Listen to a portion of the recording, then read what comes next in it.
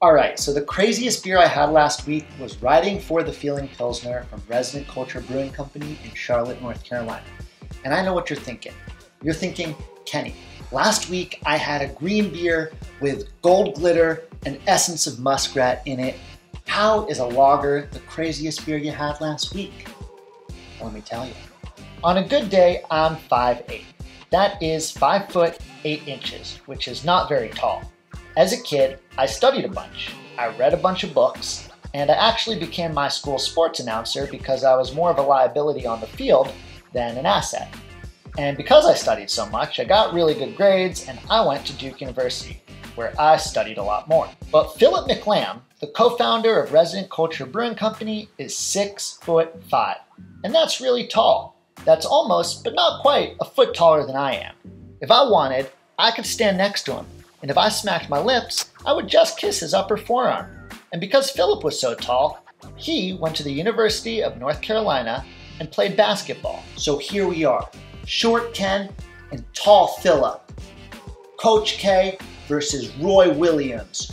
Duke, yay, versus UNC. Ooh. In 2019, Hop Culture and Resident Culture decided to team up to throw a beer festival in Resident Culture's parking lot. And so Phillip and I looked at each other and said, what would be a fun theme? And we said, wait a minute, I went to Duke, you went to UNC, it's the greatest basketball rivalry of all time. So you know what we did?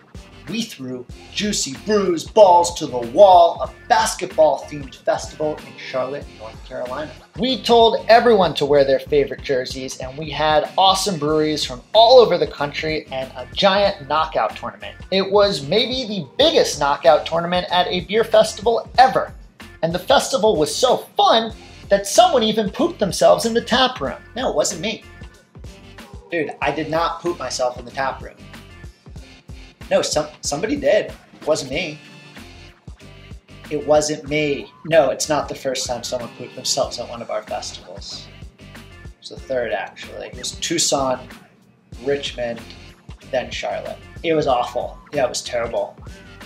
Funny in hindsight, but no, it was, it was bad.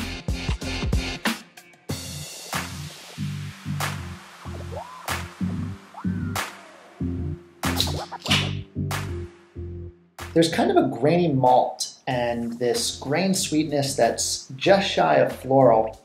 Uh, the beer is clean, it's dry, it's beautiful, and you have this trifecta of German hops that provides this balanced bitterness. It is, as my new friend Alec F says, one of the best crispy boys. So there you go. Sometimes a beer isn't that crazy, and in fact, this one is about as uncrazy as they come.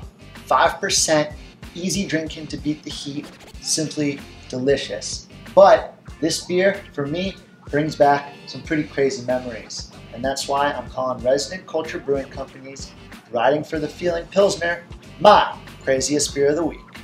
Cheers.